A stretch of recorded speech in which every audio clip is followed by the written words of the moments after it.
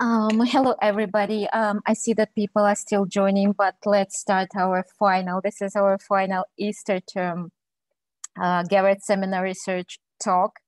And uh, just please be aware that the session will be recorded. Uh, also, the Q&A session will be open after the um, after the end of the talk, and you can either um, just raise your hand, and we will let you ask uh, ask your question, or send it to the to the um, uh, to the chat. Uh, our uh, today today guest speaker is William uh, White. He is an assistant professor of anthropology at the University of California, Berkeley, where he specializes in historical archaeology of the African diaspora, historic preservation, and community-based research. He is also a founding member of the Society of Black Archaeologists and has been a blogger and the co-host of the Cultural Research Management Archaeological Podcast since 2012. We're very delighted to, to host you today in our in our final talk uh, on the Easter in, on the Easter term. And the today um, talk um, title is Cultivated Diversity in American Archaeology. Floor is yours, Dr. White. Thank you for that excellent introduction. I really appreciate it. Uh, I am honored to be here today. I didn't know I was the last presentation, so I hope I really uh, give people their money's worth. Um, uh, I appreciate the invite uh, to this uh, research seminar series because as I as I started to watch some of the other videos, I just realized, you know, the amazing, um, talented researchers that have come in this talk series before me. And then, you know, I presume this is part of, you know, many different talks. And so I appreciate being invited to be part of this and I'm absolutely humbled to be uh, one of the presenters this year. Uh, I, I am coming to you from uh, California. It's a beautiful morning here. I think I had breakfast. Uh, well, I'm hoping that what I just ate is breakfast for the rest of the day, but I, I hope I'm not interrupting folks there in the UK who are getting ready for dinner, or I just was informed that it's tea time there, which I love the idea of a pre-dinner, just like I love the idea of a pre-breakfast. So you know, I think we should expand our meal options in this world. But here in California, where I live in Hercules, California, I have to acknowledge, first of all, that it is on unceded land of the Muwekma Ohlone people, who for thousands of years have been the uh, stewards and caretakers of this land and the people who live on it.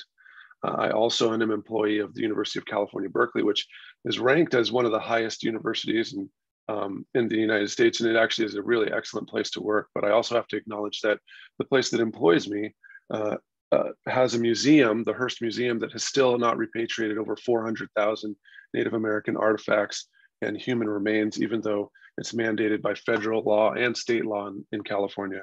And I also want to acknowledge that that same university that's on unceded Ohlone land uh, only has 1% uh, Native American students in a state that has about 2% Native American people. It also has um, uh, about 14% Latino and Latina students in a state that is about 38% um, uh, Hispanic. It has 3.6% or 3% African American students in a state that has about 7% African Americans. And it has 3.6% uh, Black faculty as that compares to 57% white faculty in a state that only has about 36% non-Hispanic white. And so I bring all that stuff up because we're talking about decolonizing anthropology and decolonizing archaeology. And one of our um, biggest uh, beliefs, my sincere belief, is that you know we can do a lot to decolonize this profession by being more inclusive and diversifying the practitioners. Of course, a lot of that stuff happens here at universities like uh, the University of California and other places in the United States, which are the training spaces for our future archaeologists. And so the idea is, you know, how can we create more diversity in archaeology amongst our student cohorts in hopes that those folks will go on to be archaeologists. So the talk that I'm going to give today, it really builds on an excellent talk that my uh, colleague Ayana Flewellen gave for the Garrod uh, research seminar series about our work and the Society of Black Archaeologists work in St. Croix. But I'm going to take more of a wider approach and uh, speak more about changing our philosophy as archaeologists in hopes of bringing more diversity into the field.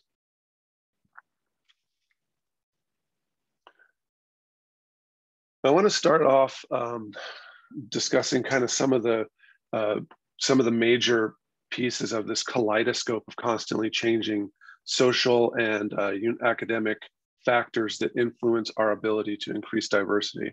And so, of course, this really simplistic Venn diagram, it centers the social justice movement, which in the United States is is making you know huge changes throughout society, throughout our universities, and has caused archaeology to pause for a second and really think about you know the implications of our work and get a little bit i feel like a little bit more serious about increasing diversity in archaeology. And you know i'm proud to say that uh, partially as a result of this uh, social justice movement president biden has planned to sign juneteenth as a holiday a federal holiday in the united states. It'll be a national holiday instead of how it's been recognized by states and it'll be the first um, federal holiday signed into law since 1983 in the United States. And if you don't know about Juneteenth, it's the day that commemorates the end of slavery at the end of the Civil War in the United States, um, when all African Americans found that they were actually, in fact, free.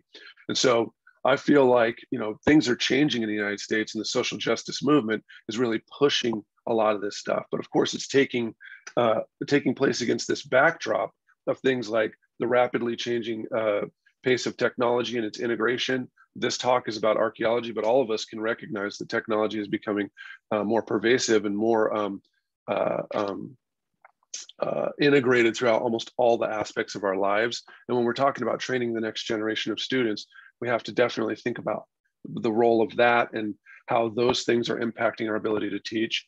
Also, the realities of, econ- of the uh, economy in the United States. Even before the COVID 19 pandemic, things were changing a lot in the United States for a lot of people. And living here in the San Francisco Bay Area, it's like an accelerated, uh, you know, uh, test case of change in the United States. And that, that's impacting the realities of being an employee in the United States.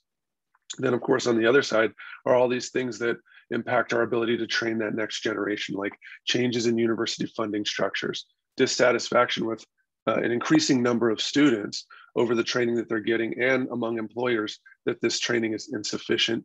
And then, of course, the enrollment gap or enrollment cliff that the United States is facing, which is the current cohort of youth from 18 to 30 years old that's coming into the university system is smaller than the previous uh, cohort. So universities across the United States are going to have to make adjustments and make changes to uh, you know, come into this new world where there's fewer students who are eligible to go to college.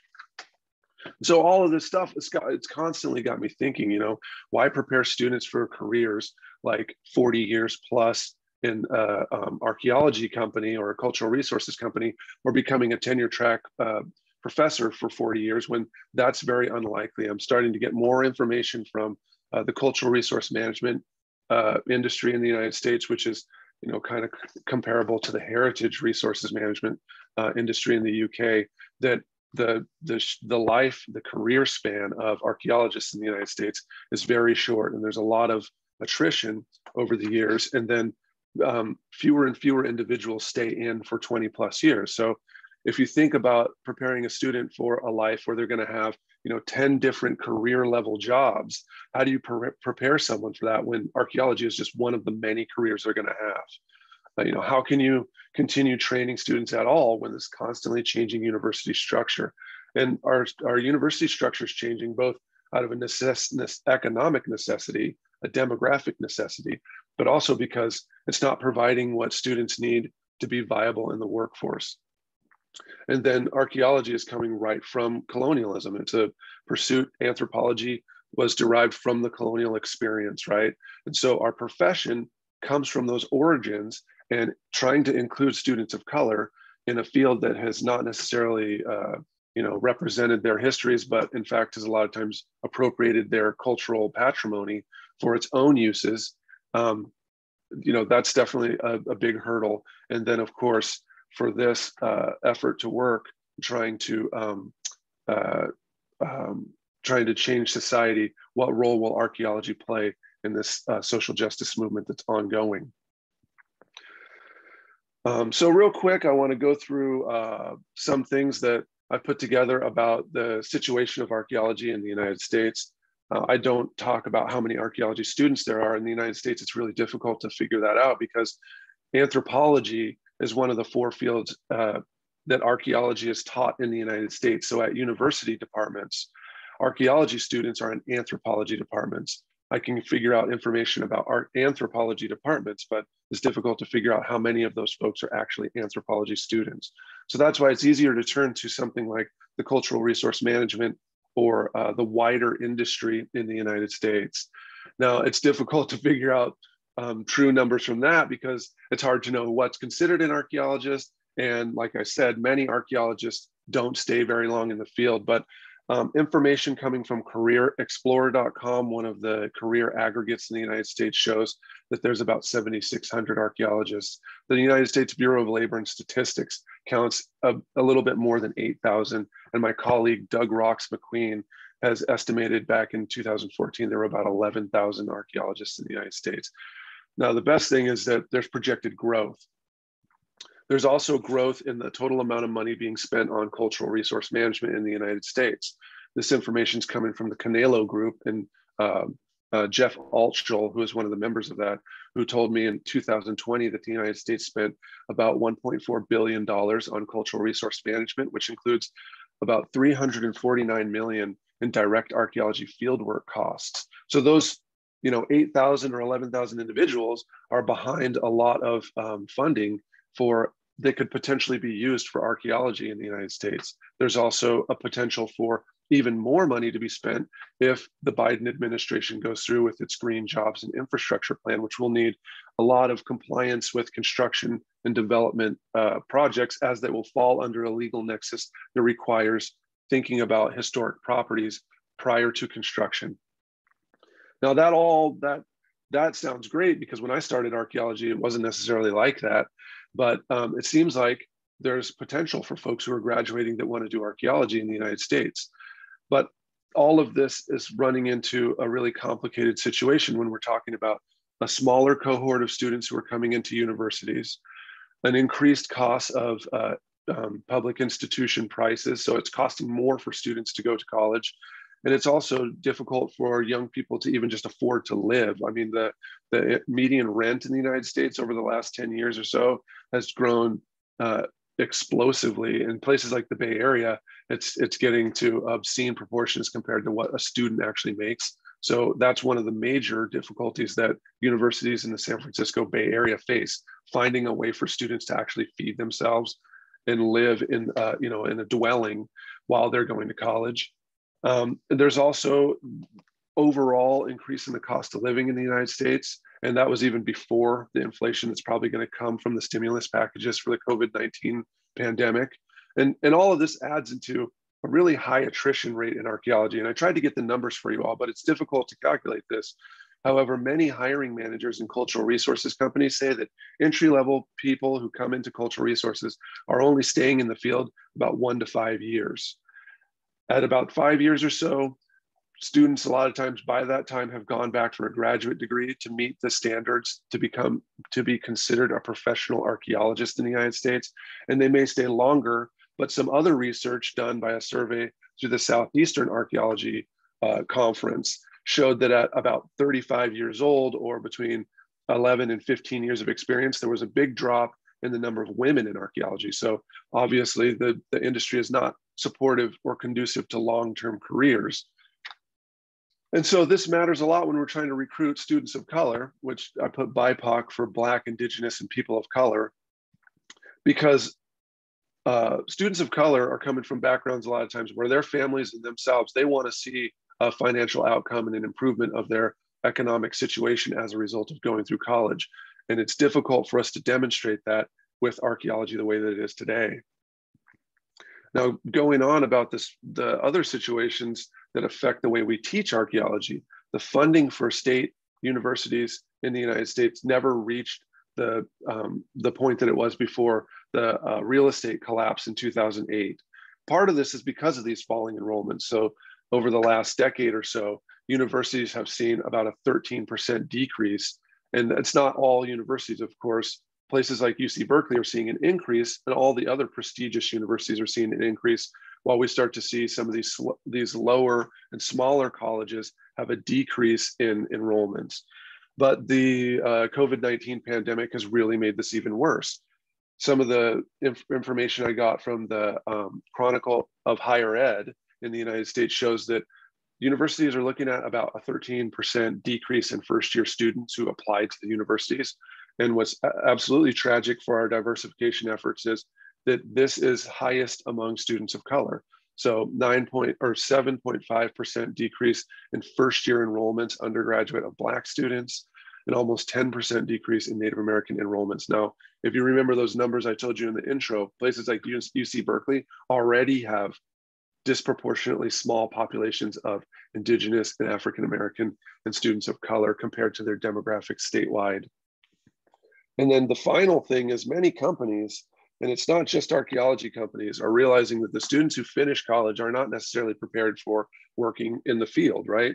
So going back to my thing about uh, students only working for a few years in archaeology, uh, they're going to have to transition to other industries. And what we're starting to see is that companies are building certificate programs that uh, help provide a gap or provide the specialized experience that they need for students in those uh, in those fields. And probably the most prominent one is the Google Career Certificates that puts out several different analytics and uh, programming uh, certificates that it's hoped will retool folks who have not lost their job from the pandemic. But also, what I see, this might be a pathway towards larger corporations building their own certificate systems that uh, compete with universities or uh, augment the, the degrees that folks are getting at universities. And it's not just for the tech industry.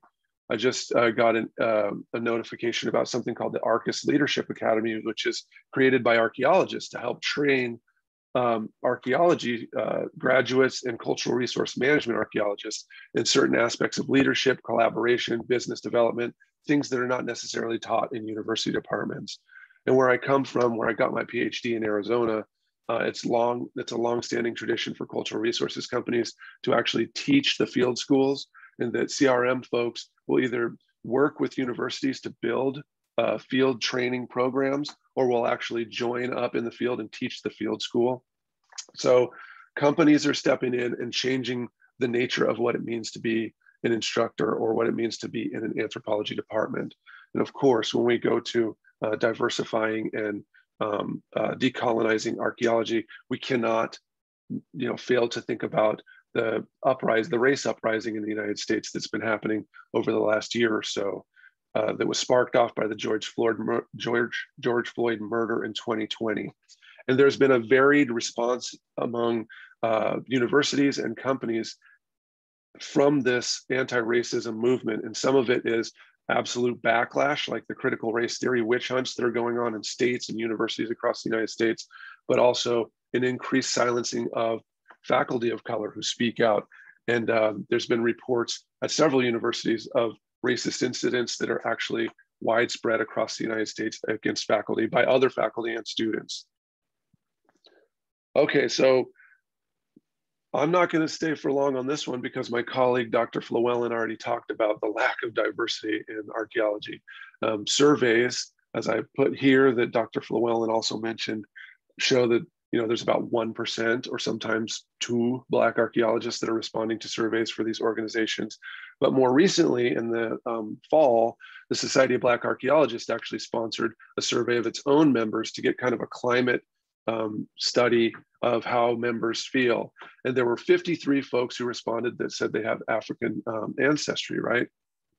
So that compares with you know eight black people in the society for historical archaeology or two in um, uh, the Society for American Archaeology. So we're starting to see that there are actually, in fact, an increasing number of Black people who identify as archaeologists. But the question that I ask, you know, is how come they're not joining these organizations? Of course, we know that it's important for us to have students that are in the in our departments that are looking towards going into archaeology.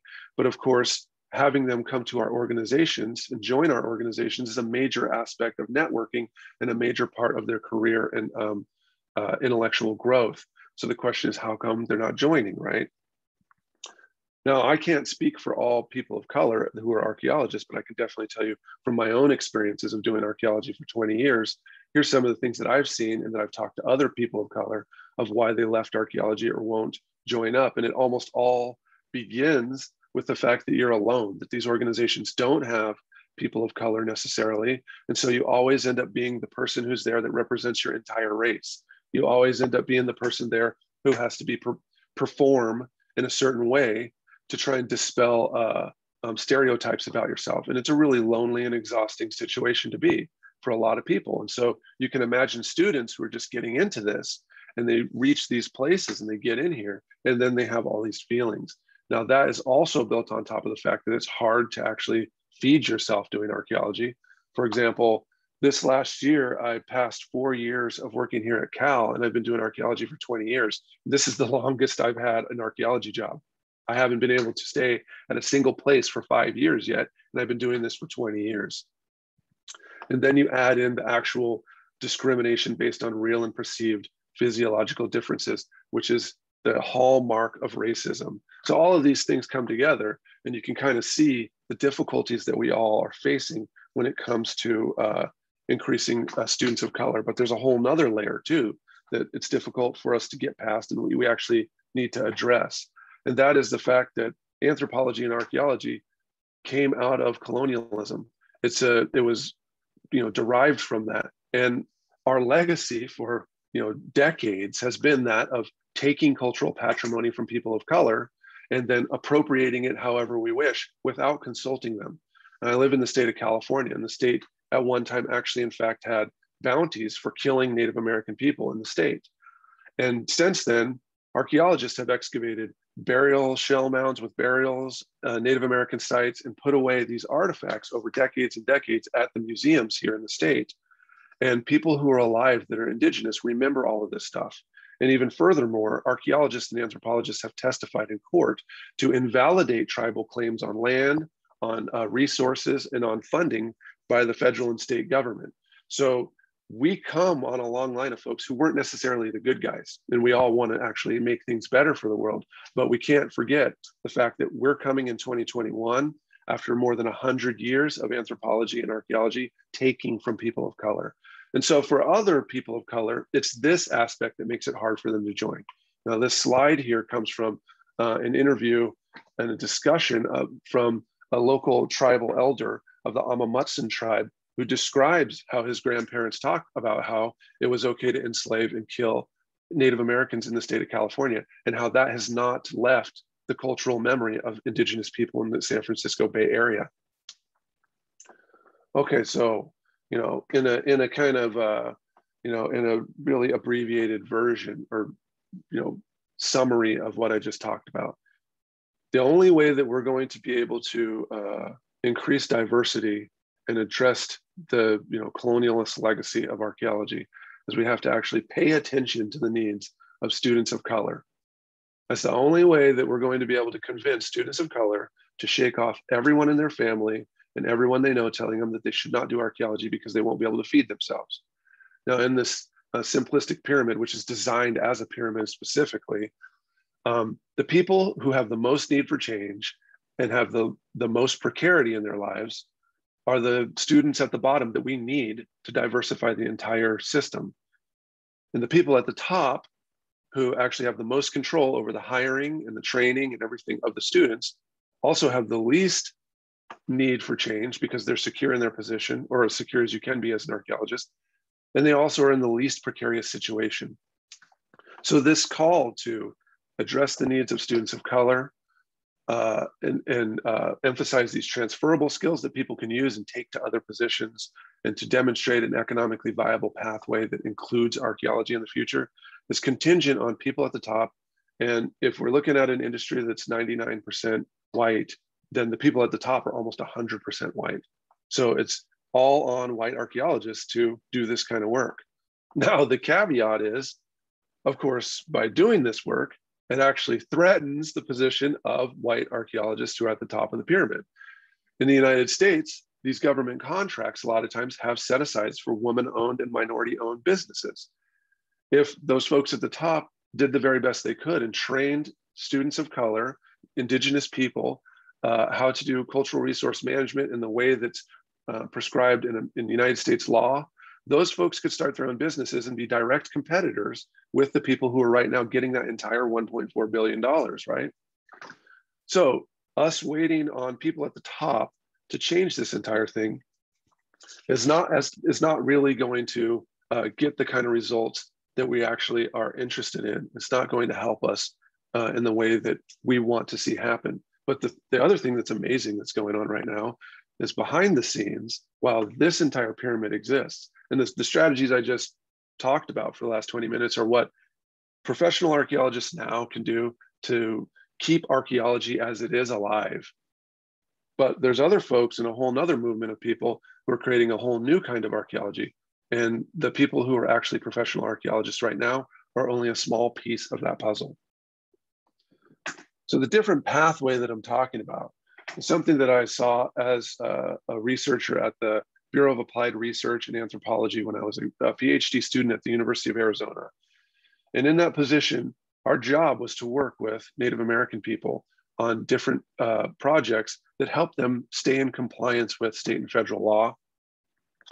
And so what I saw there was folks who were working in their own interest to uh, use archaeology as a way to push for their own rights, legal rights to land and resources, but also to insert their way of knowing into archaeology uh, knowledge. And the entire goal was to revitalize their own cultural knowledge and to rebuild from what had happened to them.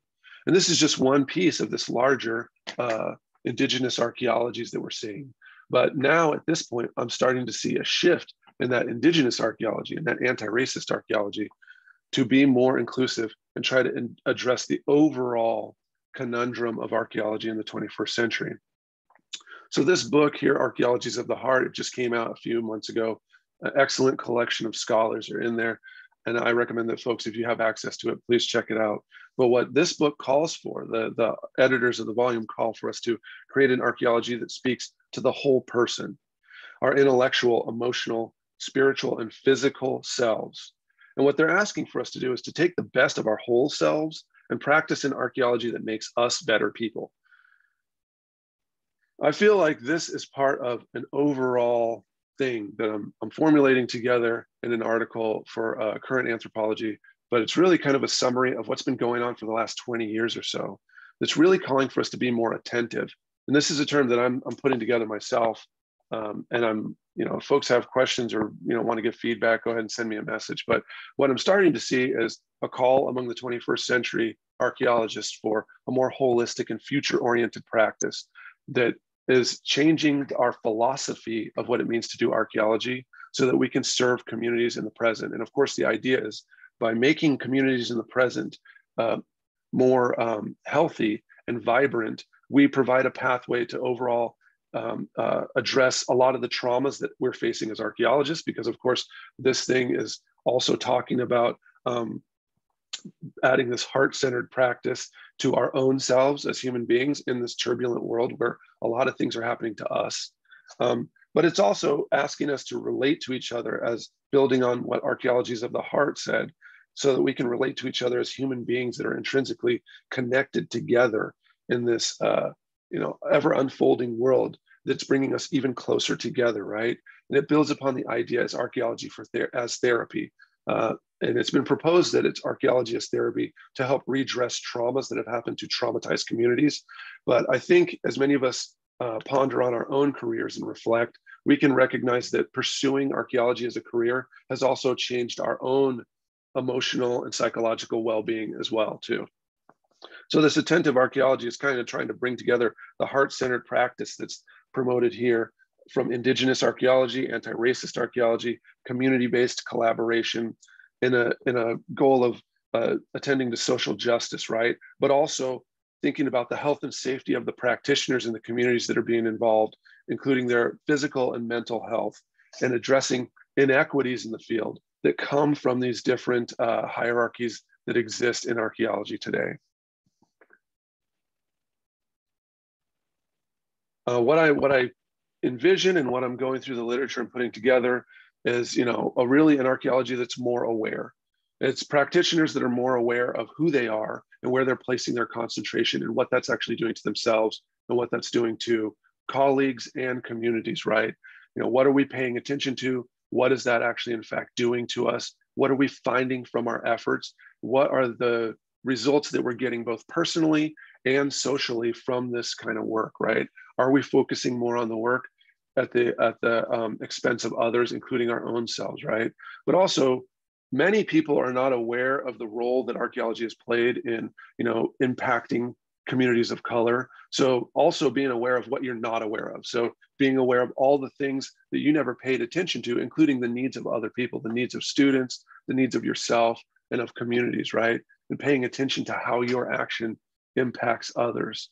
Also being aware that we can have well-intentioned impacts. We can try our hardest to improve communities, but if it's not done in collaboration with communities, if it's not done to try and heal individuals in those communities, including our own community of practitioners, we can actually be causing more damage. So continuing with this business as usual system is hurting ourselves. It's, it's not really serving resources or the spirit of the historic preservation laws.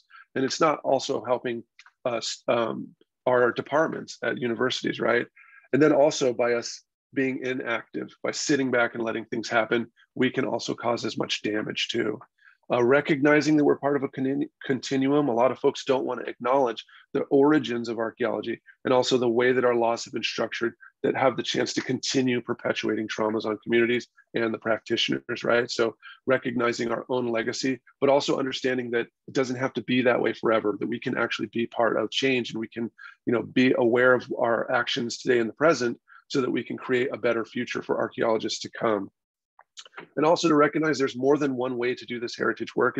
Archaeology is just a small piece of what uh, communities of color are doing to reclaim heritage and revitalize communities. So we're not the only ones who are doing the work. It's not just up to us. And also even among archaeology, uh, it's, you know, we're part of an entire group of people. So siloing our work and staying beholden in one corner without sharing it is not helping the entire endeavor move forward. And then I always recommend that it always starts with people's thoughts in your own mind because if you change your own thoughts then there's potential to change your own action. So by working on yourself and being mindful of your own self that's the absolute key piece because none of this other stuff can really happen until you're recognizing what this world has done to you and what you plan on doing. Try to move forward in your own life right? So the idea is that you know, we, we can sit back and talk about how things are broken and how much damage things have been done. But, you know, in reality, archaeology is the only thing we have to fix archaeology, right? So if we're going to envision, envision a future, this thing we've inherited that we've been trained in is the thing that we have. So if we if we want to change it, we have to fix it as is, beginning in the present and moving forward. And also the idea that you can't do that kind of work if you're also psychically, physically, and emotionally damaged yourself, right? So, in the process of being in this, if harms are happening in the process of you becoming an archaeologist and throughout your career, you're not going to be as able to help others because broken people are not the ones who can fix other broken people. The first step that I recommend for everyone to do, because we are living in this time when you know we're, we're trying to move into anti-racism, we're trying to do all these different things. Um, but a lot of times we're not spending any time thinking about what that's doing to ourselves and we may find ourselves unconsciously or consciously you know pushing back against things or jumping headlong into things that only end up adding to our work and overwork that's characteristic of archaeology in general. So you know i urge white, white archaeologists at 99% to start thinking about to in their own mind when the friction of engaging with this when collaborating and when you have to engage with anti-racist thought. When you first notice that anxiety pay attention to your own self and then start thinking about how you can actually stay in that space and build the resilience to be in that space longer, right? Because a lot of folks, a lot of this backlash in departments and companies is coming from people who don't want to engage in that, the discomfort that comes along with that. And I'm not asking for people to jump into, you know, turbulent waters and harm themselves psychologically, but just touch the edge of the discomfort before you have to step away. And by doing that, you'll get more and more accustomed to being in this uncomfortable place. And then archaeologists of color, if you're out there, if you're listening to this, right, be aware of when this anger happens, when it's flaring up in your own self, and think, is this something that's being coming from your own personal experience as a person of color? Or is this actually, in fact, racism that's happening to you? And then is this something that you need to take care of? Or is this something that they need to take care of? Because, of course, these diversity initiatives can't just fall on that 2% of Black archaeologists. And 58 uh, members of the SBA can't be the ones who solve the problems of 8,000 other archaeologists. You know, I'm calling for us to really think about um, re reinventing what we think about as archaeology, you know, adding this uh, compassionate and self-aware approach to archaeology into the field, because I think that when communities of color see individuals who are actually honestly trying to do good for communities and are aware of themselves and open and willing to be part of these emotional traumatic therapies that come through archaeology there you're going to start to see more interest from communities of color. Because at this point archaeologists are coming in with these crm contracts and talking about where a walmart's going to go and where the freeway is going to go right on top of your ancestral house. And there's not a lot of space for collaboration right? So a lot of this starts with us who are instructors right? Rethinking what it means to be an archaeologist and an instructor in the united states couple of real realities. Funding's going down. We're going to have fewer students. What does it mean to teach in these spaces? And what do the communities need to grow and prosper? You'll see support for this kind of education if you're actually supporting communities and states and you're doing that kind of work that adds instead of extracts right? Rethinking our entire profession because the idea of planning for archaeologists who are going to work for 40 years in archaeology that's kind of a, a you know a, a non-real it's an aspirational reality rather than a pragmatic reality of the world in which we live and to recognize that action is what is helping communities by understanding what communities are interested in and what they need to grow and prosper. And a lot of times that is not archaeology, it's those transferable skills and access to, to uh, um, information and the authority that comes with being a professional archaeologist. And of course, getting paid to do archaeology, you know, all of those things in collaboration. So rethinking this professionalism as someone who is helping individuals regain power over their own heritage of course, the internet, this talk wouldn't exist without this medium. The last 16 months have showed us we can still connect with each other. And in fact, there's new communities that have thrived and grown through online online communities, right? So collaborating through the internet, most of the people in the United States are, are online. And so meeting the public, meeting other people, teaching students, it's all happening online right now of course, this is going to be, you know, building a new future of archaeology in this constantly changing world because our education, not only do we have to revamp curriculum, but it has to be more experiential. That's the only way that we're going to connect with communities because many people of color have only seen Indiana Jones and Discovery TV and Nat National Geographic, and they've never seen anyone of color doing archaeology.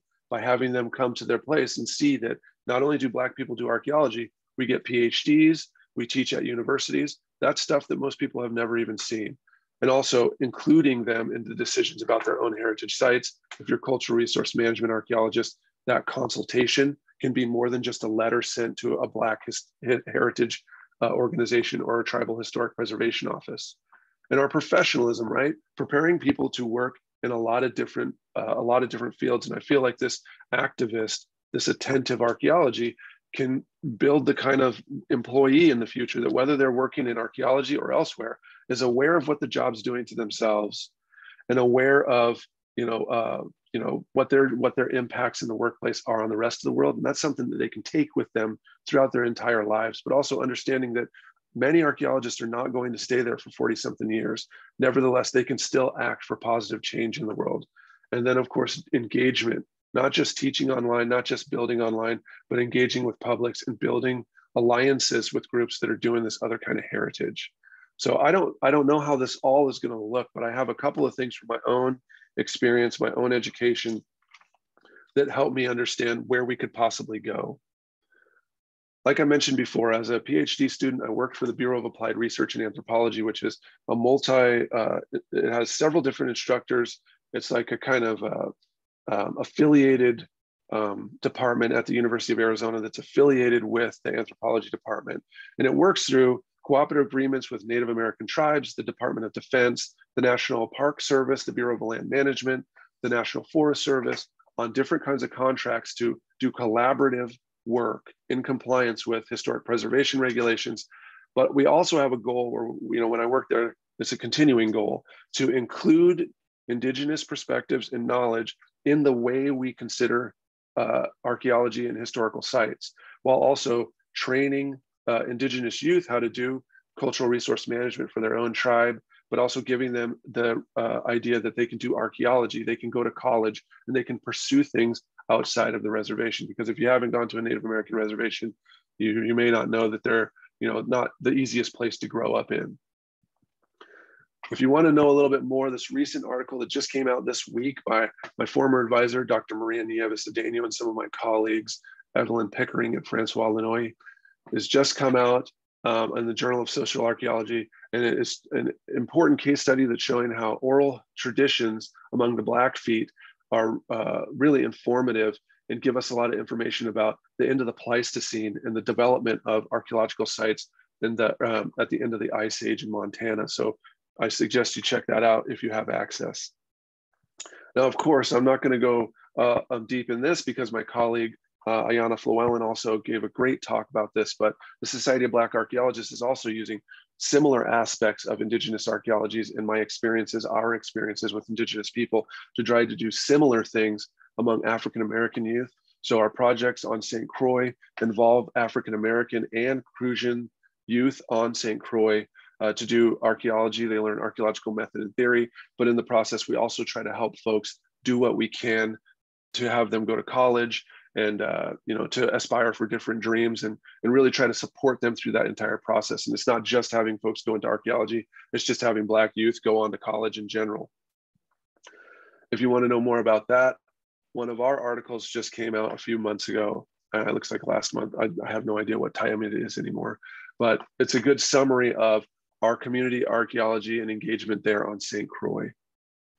Now, building online communities, what you're doing right now, watching this talk right now, is probably the best thing that came out of the COVID 19 pandemic for archaeologists because those barriers that we had erected between us, you know, engaging with each other, they kind of went down quite a few notches. And so, you know, the Society of Black Archaeologists, for since its conception, has really existed on Skype and through online uh, meetings. But we're we were kind of the only ones that were really doing that kind of collaboration. But now we're part of several other groups, and I'm starting to see a lot of amazing collectives and communities grow up on the internet.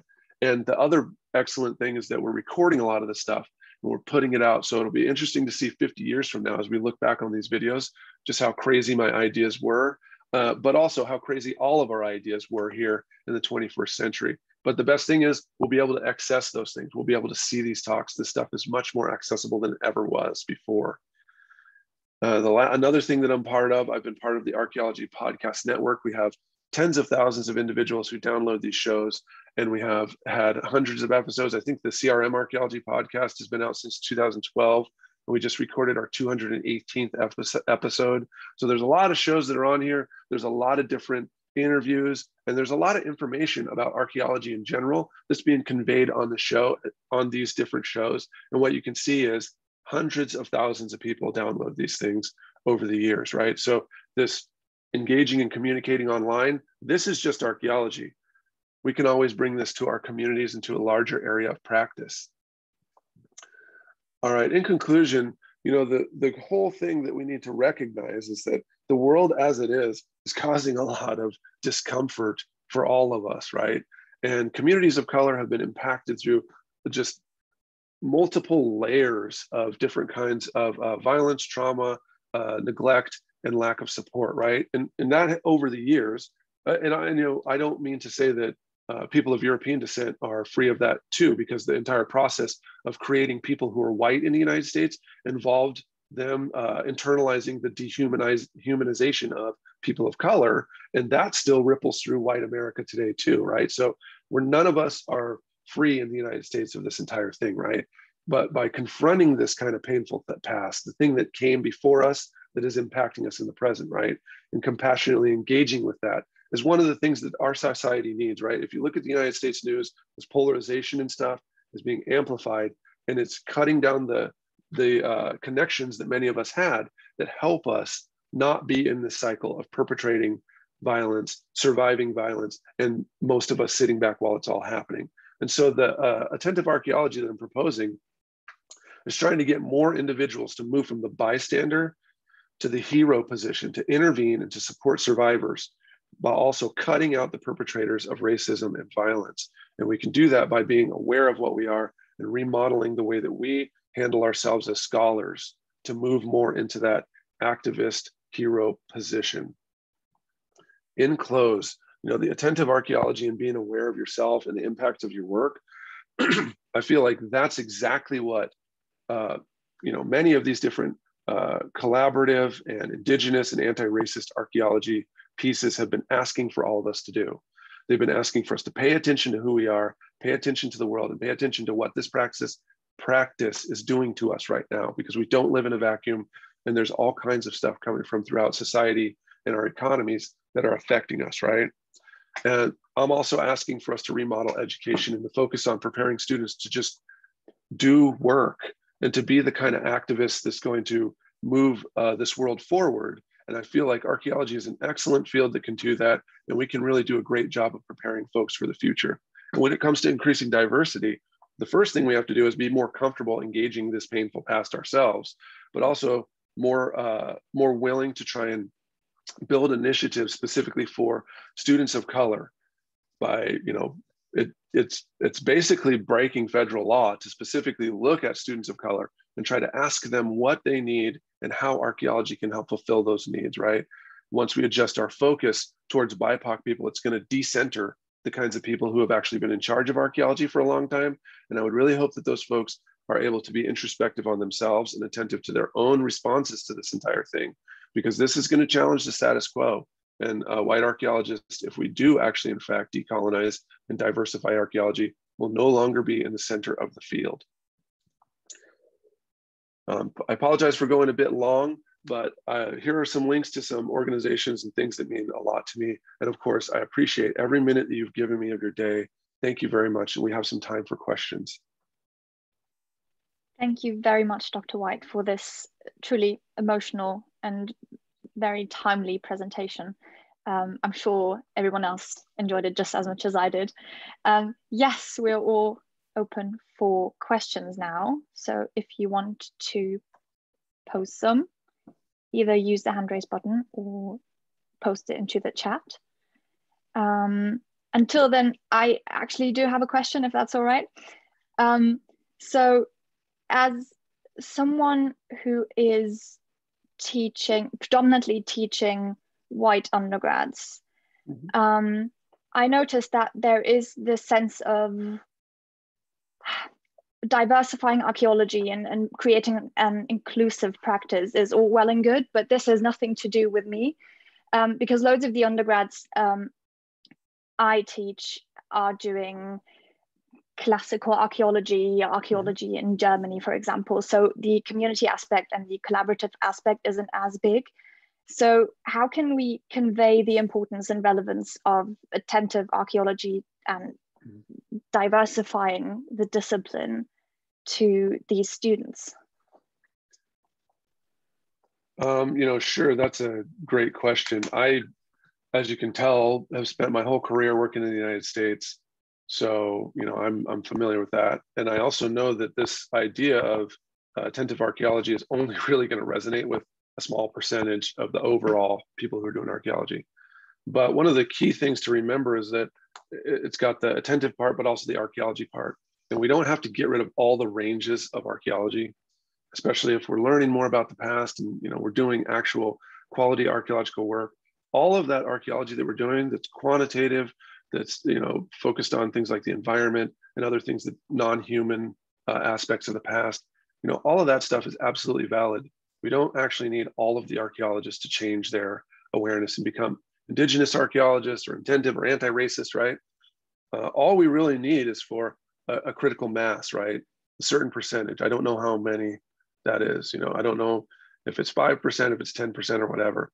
Um, but a couple of the things that are you know coming like it's all riding on the same wave as the social justice movement has made these things much more prominent. And many archaeologists have seized the time to you know talk about what we're doing to publish in journals and to get this stuff out there right?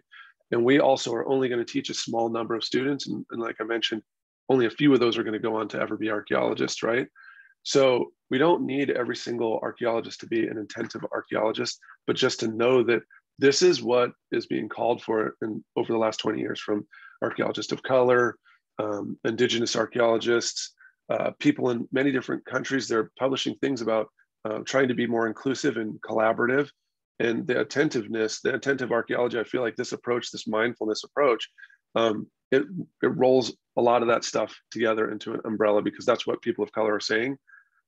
Now, that being said, ignoring those voices, of course, is also causing harm. So folks who want to stay qualitative and never think of the fact that there's any kind of community, you know, uh, otherwise they're cutting, they're limiting their research potential and their potential for that to engage and contribute to people at the local level. But they're also um, like um, cutting them own selves off from personal growth by engaging with these different ideas. So we don't need everyone to switch over, but just know that those who are willing to at least come close, learn what it's all about a little bit, and walk away with a different understanding, that's going to be enough to change a lot of people. Because I understand that we're not going to change that 8,000 archaeologists in my lifetime, you know, to be mindful and, and considerate and all that stuff, you know. I've been doing this for a little bit of time and I don't think that everyone's going to switch, but I do think in the future, this can grow in the future to the point where those folks are kind of in the minority and attentive folks are more uh, the majority. Thank you. Thank you. Um, Suzanne, you had a question? Thank you so much um, for this really wide-ranging presentation. I, I was I was wondering if to what extent you you see a role, especially in the CRM area, also for labor organizing, because in in the UK that's one issue where um, people who work in the sector are very poorly paid. And, mm-hmm. so that in itself, I mean, there are kind of bigger problems there, but also then that that is is you know one kind of very demonstrable way that excludes people from entering the profession. And I don't know enough about um, CRM in the in the US about you know how well people are paid, but you know that here that's like definitely an issue. And mm-hmm. and and people work in the sector are, are only gradually getting organized, but it's really just beginning. So yeah, is it is it very yeah. different in the US or? No, we are also, I think you actually are ahead of us. So if you think it's just developing there, then it's like in the dark ages in the United States as far as organizing. Um, yeah, you know, the pay is is an absolutely huge thing. And um, I believe on the 21st of June, there's going to be a talk about organizing in the United States, unionizing archaeological uh, field technicians, I believe. And, and uh, you know, I've been looking on social media at some of the responses. They're not necessarily good, but it's social media. So you can't really, everyone, it's only negative on social media. You don't know how people actually feel. Um, but I know in the 1990s they tried to organize and uh, create a union, but the problem is, of course, it's difficult to, there's no one with whom to bargain, like collectively bargain because the companies aren't all unified together under one organization. And then it's mm-hmm. difficult to uh, stand as one block because there's always a group of people who will do the work for less. But the biggest thing that has been happening I've seen is uh, archaeologists saying on social media when they see the advertisement, just responding, show me the wages, like show me the pay rate, show me the pay rate. And people not, the qualified and skilled people not willing to even apply for the lower uh, paying projects. And I feel like just that kind of like, you know, grassroots thing. And there's been, you know, we've talked about it on the podcast, blog post, you know, gone off on social media, and many companies have responded. They've started putting their pay rates, and they know that they're going to embarrass themselves if it's much lower than others. So there's that aspect of forcing them to show how much they're really paying people. And then the other thing is just the demand right now, right? As I mentioned, there's fewer people who just finished we just entire year and a half lost all the people who would have a field school, right? So that qualification barrier has got to come down because no one got one during the pandemic, right? So all these new entering field techs, they the companies have to start an internal training program because they can't just expect them to actually know anything. And I've been talking to other. Uh, oh, and also, uh, archaeology was considered an essential service during the pandemic, so the company stayed open they kept working the whole time. And if this new infrastructure thing comes, we're talking hundreds more archaeologists the United States is going to need at a time when there's fewer people who are skilled. So they've those barriers, some of them have had to come down, and companies are more willing to hire folks on recommendation and uh, you know without a field school and train them up and try to build these internal training programs or collaborate with universities to try and get those skills out. So I feel like maybe that's one barrier that might be coming down. But I think that the pay thing is intrinsically linked to increasing diversity because it's, it's very difficult for students of color to get to a university in the first place and then to recognize they're only going to get paid, you know, $23,000 a year for their entry level with no benefits or guarantee for work past Christmas. Like that's that's a tough sell when you can get a job at Amazon making more money than that with your anthropology degree entry level. You know what I'm saying? Like the competition in the Bay Area, they pay higher wages here because they just can't even convince anyone to do the work otherwise. So I think that unionizing will definitely help. We're, like I said, we're in the like earliest grain of truth stage. Like it, it hasn't even grown yet from that. Thanks. Uh, Christina, you posted something to the chat. Do you want to read it out or do you want to ask us yourself or should I read it?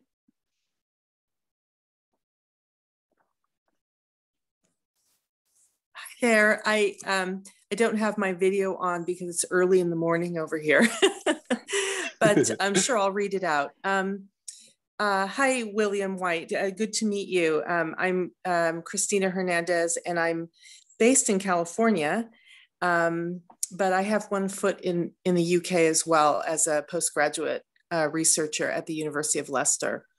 And I've taught for a number of years at um, community college in California. And uh, one of the things I've always noticed is that, you know, so many disciplines are not taught in American high schools, like um, archaeology or my discipline in art history. And so we're losing students in the humanities and um, archaeology programs before they even get to college. They don't even know uh, about the uh, subject.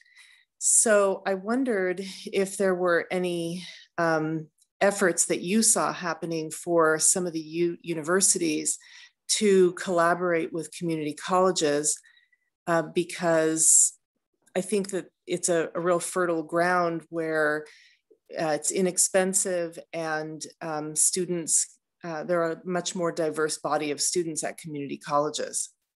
Mm-hmm. Yeah, I'm glad you asked that question because the good news is there is.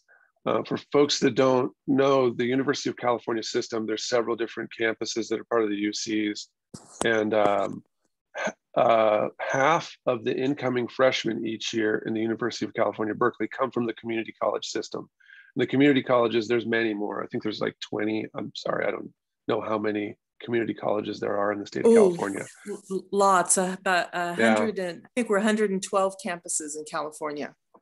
Okay, yeah. So many students are able to get into UC Berkeley, UCLA, and other UC schools by doing well in the community college system, which is much more accessible, much more affordable.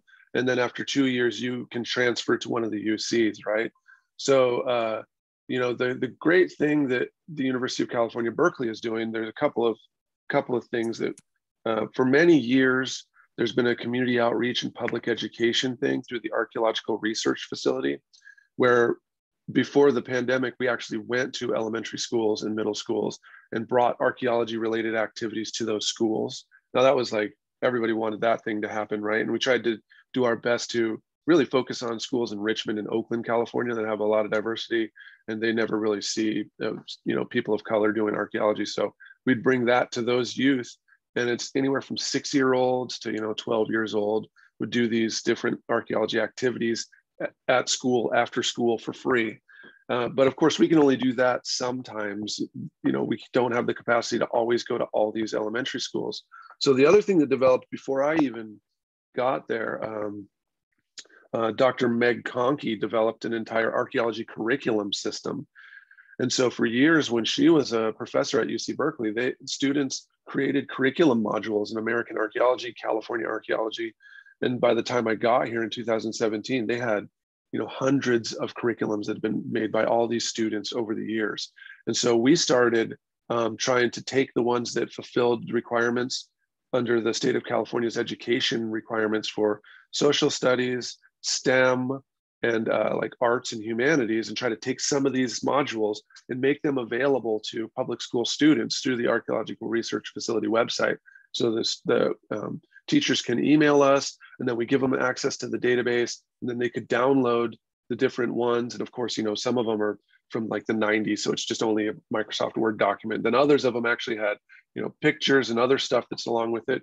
And some of that is working in uh, collaboration with the Hearst Museum, which was showing doing Ask an Archaeologist Day and showing artifacts that they had, and then having UC Berkeley instructors who are you know skilled in classical archaeology or South Pacific archaeology talk about these artifacts that are in the collection on videos.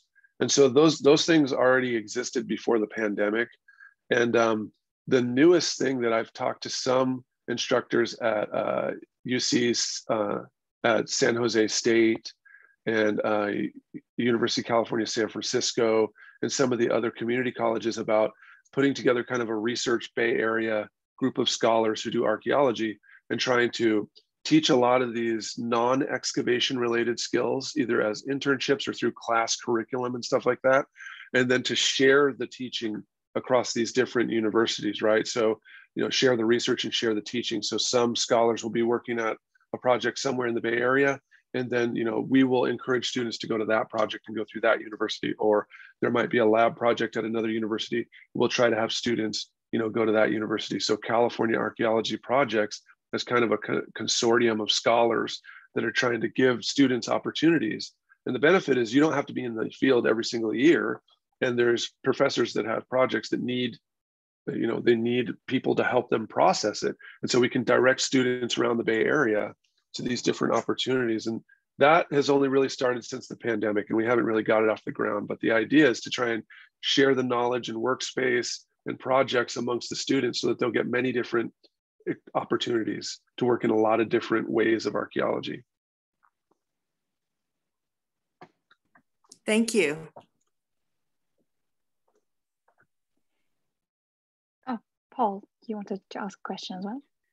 Yeah, thank you. William, thank you so much for that really fascinating and very wide ranging and really sort of thought provoking presentation, which has, has really, uh, yeah, I think sort of is the, the, the icing or, or, the cherry on the icing, if you like, for our, our series. A wonderful way to round off our, our, our talks. Um, if I understood you correctly, you were acknowledging, I think, something that many of us recognize that, that archaeology, when it's taught correctly, really taught, teaches a very wide range of skills that are, are extremely transferable. And that it is important to recognize that uh, some students will, will come through a, a, an archaeology program and move on into other forms of work. Is, and as part of the diversification of that intake, that is, if, if you can draw um, people of color into the archaeology program and then equip them with you know enhance their their opportunities in the in the wider workplace that is also beneficial. I, I think that's what you one of the things that you were saying. Um, i recognize there are other issues to address to retain some within the di- discipline.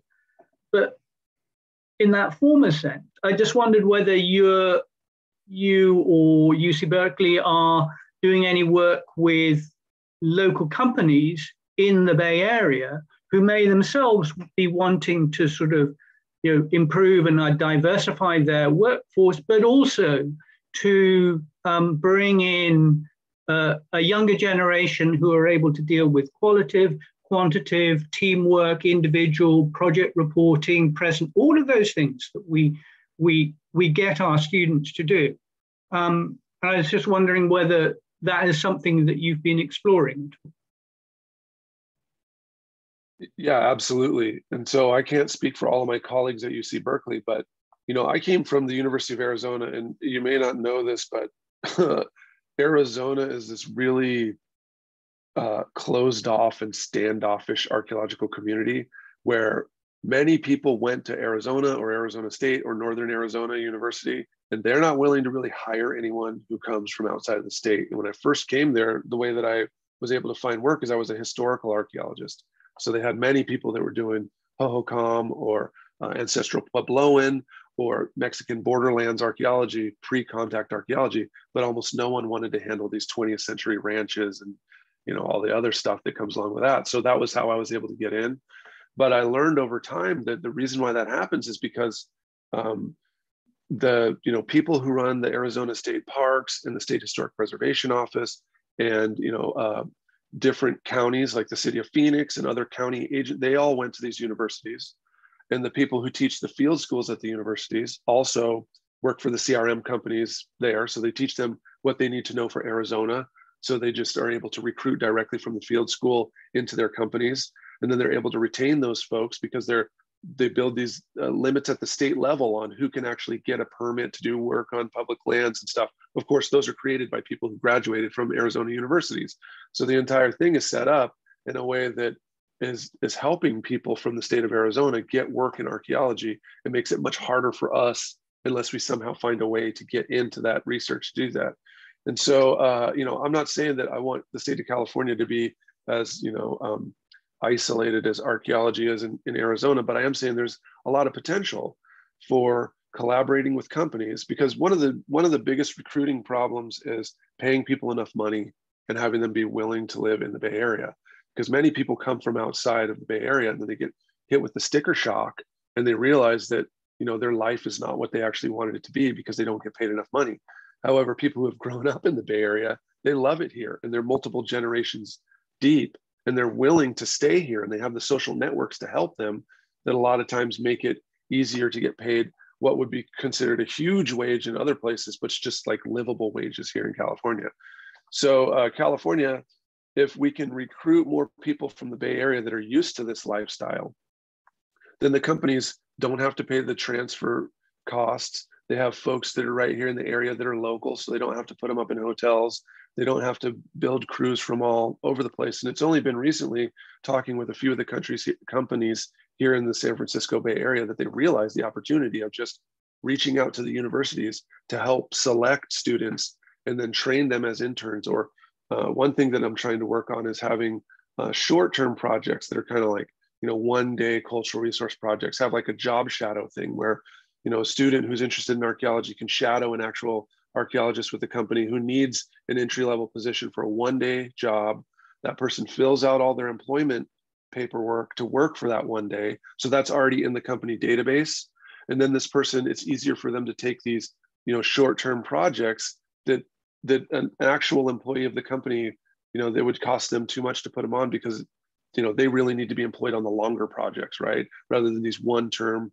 And it's harder for they have to spend money to recruit someone for a one-day project Whereas if they already have a student who knows the paperwork system, who knows the company and all this other stuff, through these different temporary uh, projects over a year or so, they're getting valuable information. And I've talked with a lot of company owners and hiring managers, and they've said, you know, like one or two weeks of doing cultural resources is probably better than your field school in St. Croix or probably better than a field school, you know, somewhere else, because I have no idea what you learned out there. But if you were with me for a week or two, I know exactly what you just learned out there, and I know where we need to go from there for you to catch up. And so I think a lot of the companies in the Bay Area, you know, they they love the idea. Then the pandemic happened, and they got too busy, and now no one has any time to to talk, right? But the best thing is they they're at full employment. So the students I've talked to, they're getting interviews and they are getting these summer jobs because right now there's a lot of jobs in archaeology in California. And it's a sad reality that, you know, when the fires start once again, there's going to be even more jobs in the fall. So um, I am trying to build that out because it's what I saw when I was in Arizona and I know it already exists. Thank you. That's, that, that, that sounds really promising one of the other things behind, when I was using the word company, probably I was using it in, in, in, in far too sort of English a way, because what I also had in mind is non-archaeological businesses, if you like. So do you work with banks, law firms, other you know, routes of employment where you you kind of convince them that that actually having an archaeology degree is a really great stepping stone to having a successful middle management, mm-hmm. for example? Yeah, yeah, that's huge. I've only really started with the the companies, the cultural resources companies. So, you know, I haven't really gone that direction, but I've started doing some data analysis just through hiring job boards and stuff. And I want to move it to the next level. But of course, in the United States, folks get an anthropology degree. And so in the Bay Area, of course, uh, tech companies are hiring anthropologists. And that's where a lot of our students go on to work because um, like, you know, anthropology just as a overall endeavor has more of those transferable person skills, the soft skills, than something like software engineering, right? So if you have a company that's full of software engineers, they may not actually, in fact, understand the cultural cultural implications of what their work is doing or the the workplace culture whereas an anthropologist is trained to think about people and how people are interacting and stuff like that. So a lot of companies are hiring anthropology majors. I just haven't put together the data on that because then the next step would be to try to connect with those companies right because the first step is to demonstrate to students like you don't have to just come with me to st croix and dig in the sun you can also go work at apple you can work you know for many of the subsidiaries of all these tech companies but i haven't gotten to that I know that they are hiring most of our uh, students, but I haven't gotten to the point where I can actually tell them what positions they're getting or what, what life is like at these companies, right? So obviously in the Bay Area, it would be tech. That would be the thing. Like everybody's just kind of like, how am I going to get into tech? How am I going to work in tech? That's the biggest industry in the area. So that would be my most logical step to go that direction. Great, thank you. Are there any other questions? I know we've had quite a few, um, but now is your chance. Well, All you right. can always email me too. You have more. Yeah, chances. I was going to suggest that as well. So yes, thank you everyone for um, for this lovely Q and A, and thank you, Dr. White, again for mm-hmm. for being here and for this amazing presentation, um, and for letting us record it and put it on YouTube as well. I'm, I'm sure many many people will enjoy it afterwards as well. Um,